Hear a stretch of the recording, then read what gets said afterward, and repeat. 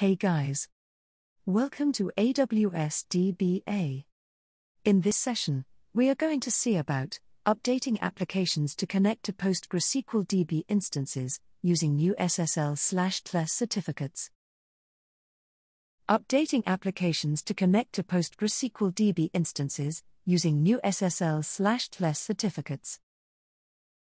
As of September 19, 2019, Amazon RDS has published new Certificate Authority (CA) certificates for connecting to your RDS DB instances using Secure Socket Layer or Transport Layer Security (SSL/TLS).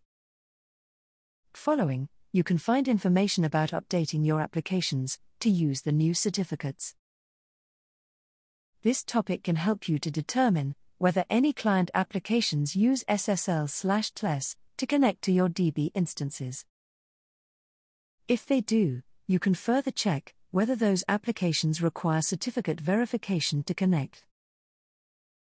Note Some applications are configured to connect to PostgreSQL DB instances only if they can successfully verify the certificate on the server.